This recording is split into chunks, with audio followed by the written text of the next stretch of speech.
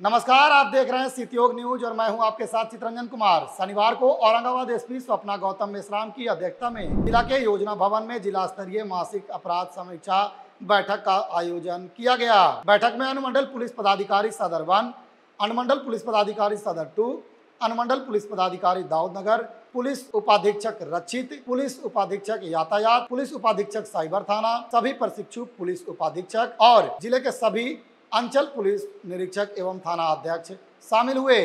बैठक में एसपी स्वप्ना गौतम मेश्राम ने आगामी काराकाट लोकसभा चुनाव से संबंधित दिशा निर्देश दिया।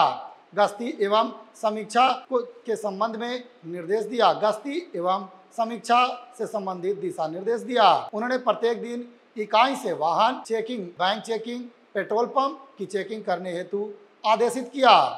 एसपी ने अवैध खनन परिवहन के विरुद्ध सतत छापेमारी करने का निर्देश दिया। एसपी ने कहा कि मद्य निषेध अभियान के अंतर्गत निरंतर छापेमारी थाना अध्यक्ष खुद करें। कांडों का निष्पादन की समीक्षा एवं निर्देश दिए गए।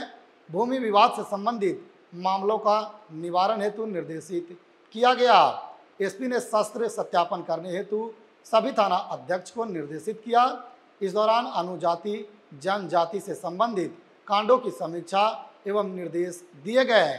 इस दौरान अन्य विविध विषयों पर चर्चा की गई।